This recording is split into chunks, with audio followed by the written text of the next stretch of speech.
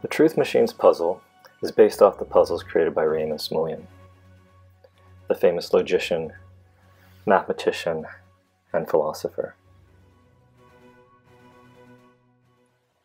The puzzle goes like this. A machine intelligence company has invented a remarkable series of machines, truth machines. For any statement that's input into a truth machine, the machine will indicate the truth value of the statement with a flashing light, either green or red. So for example, if we input into a truth machine the statement 2 plus 2 is 4, it might indicate that the statement is true by flashing a green light.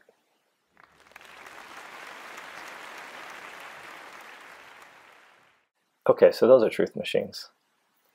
Now truth machines are manufactured in the United Kingdom, and they're also manufactured in Australia. The machines produced in both places look identical, since they're built according to essentially the same designs. Yet there's one very important difference.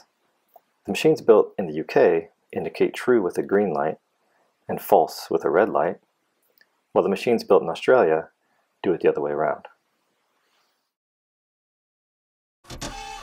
Okay, so here's the puzzle. We have three truth machines. We know that one was built in the UK and that one was built in Australia. We aren't sure where the third one was built, but we know for sure that it's broken. It will randomly flash a red or green light when a statement is input. The problem is, we've lost track of which ones are which. So the task is, determine which machine was built in UK, which was built in Australia, and which one is broken. And of course, you should do this in the most efficient way.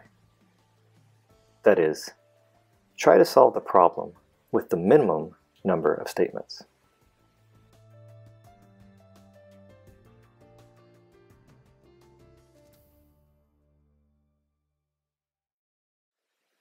You can find a written description of the puzzle on my website at backslash truthmachines.html.